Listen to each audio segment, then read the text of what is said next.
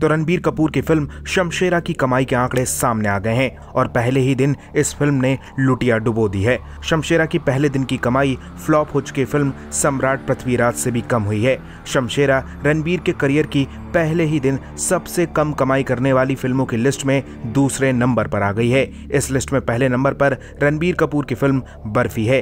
कल जब शमशेरा को फ़िल्म क्रिटिक्स ने कम रेटिंग दी तो इसके लिए रणबीर कपूर के फैंस ने उन्हें जमकर गालियाँ सुनाई। रणबीर के फैंस इसे मास्टरपीस बताते रहे, लेकिन वो ये भूल गए कि जनता ही जनार्दन है और वही तय करेगी कि कौन सही है और कौन गलत। 150 करोड़ रुपए से भी ज़्यादा लागत में बनी शमशेरा ने पहले ही दिन साढ़े दस करोड़ रुपए की कमाई की है, जबकि सम्राट पृथ्वीराज ने पहले ही दिन 10 करोड़ 70 लाख रुपए कमाए थे। शमशेरा को सिर्फ़ भारत में 4350 स्क्रीन और विदेश में 1200 स्क्रीन पर रिलीज़ किया गया है, जो अपने आप में बहुत ज़्यादा है। ऐसा दावा किया जा रहा था कि शमशेरा पहले ही दिन कार्तिक आर्यन की फ़िल्म भूल भुलैया टू को पछाड़ देगी, जिसने पहले दिन साढ़े चौदह करोड़ रुपए का कलेक्शन किया था। लेकिन शमशेरा भूल भुलैया टू के आगे भीगी बिल्ली बन गई। यहाँ ध्यान देने वाली बात यह भी है कि कार्तिक की फ़िल्म सिर्फ़ बत्तीस सौ स्क्रीन पर रिलीज़ हुई थी, यानी शमशेरा से करीब 2350 स्क्रीन कम। शमशेरा के कम कलेक्शन की वजह इसके ट्रेलर को माना जा रहा है। फ़िल्म का ट्रेलर